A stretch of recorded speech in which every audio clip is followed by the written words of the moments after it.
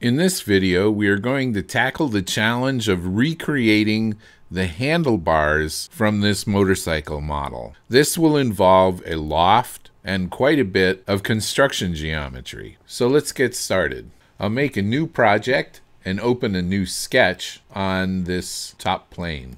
From here, I'm going to make a rectangle starting from the origin and dragging it out there are three types of rectangle center point, three point, or diagonal. You'll notice they all have the hotkey R. This just means that once you initiate the rectangle command, you'll have to switch to the specific type that you want using the drop down arrow next to the icon in the sketch toolbar. I'll select the whole thing and make it all into construction geometry. This is going to allow me to, to apply linear dimensions to geometry that's not really straight. Now we have to get this rectangle squared up, clamp it down to the origin, and lock. Let's make it 12 inches wide and 8 inches deep. Now I'm going to draw a spline. This one is only going to have three points.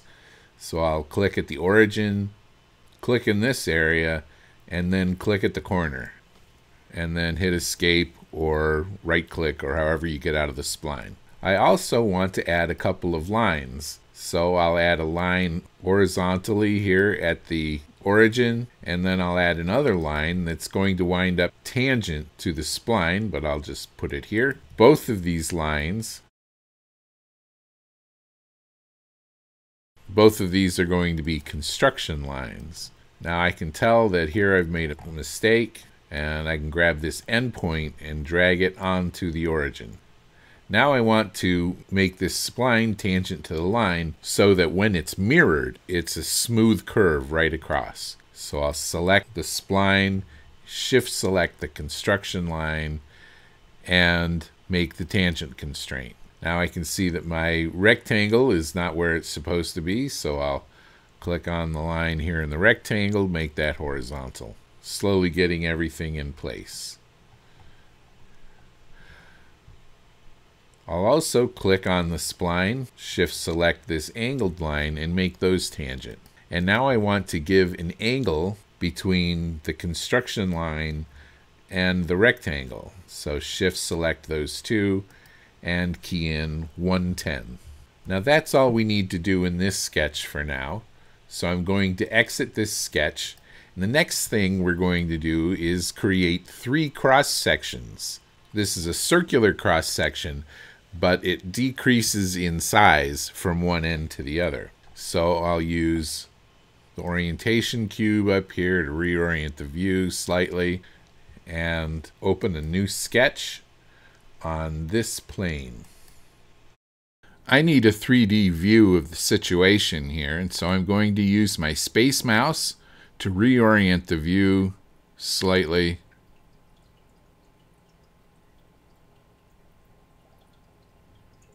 And here I am. I want to create a circular cross section for my loft, but there are a couple of secrets about lofts that the documentation doesn't tell you about. Or it does, but it's a little bit cryptic. If you're using a guide curve with a loft, your cross sections have to touch the guide curve precisely. We'll start out with an easy case and then we'll get a more difficult case later on. I've got my circle here and I want to start out with a two inch circle. So that's easy enough. I'm going to add a construction line and I'll make this right here and uh, select that line and turn it into construction and then I can drag that endpoint onto the origin and it snaps into place.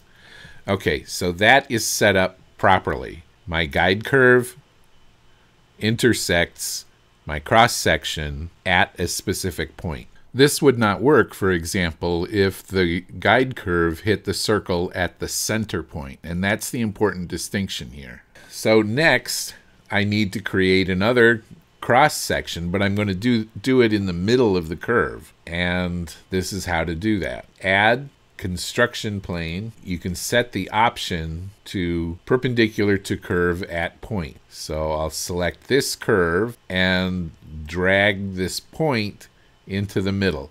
If you needed this to be at a specific point on your curve, we could have added construction geometry in the previous sketch, and then it would give this point something to snap to.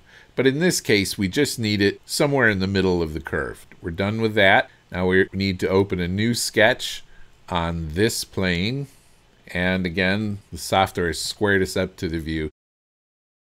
But I, it's easy enough to reorient the view so you can see it in 3D. You can see a very small point in the middle of this curve. It says plane intersection.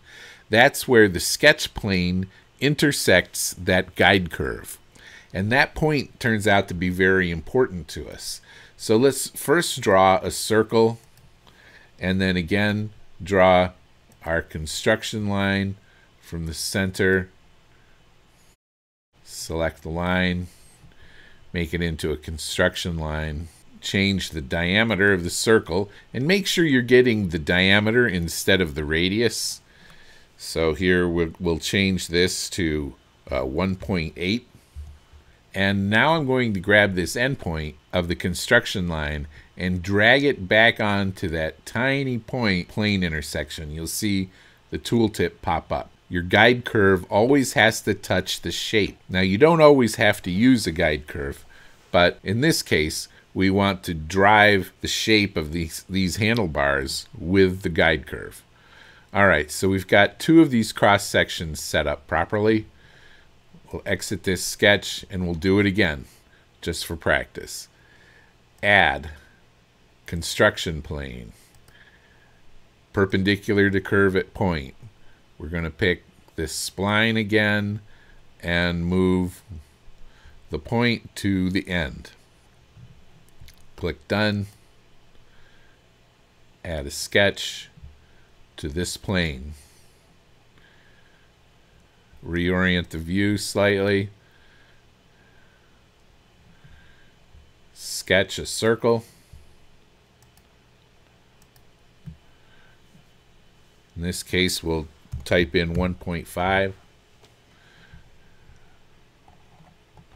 I'm going to add a construction line from the center to the radius.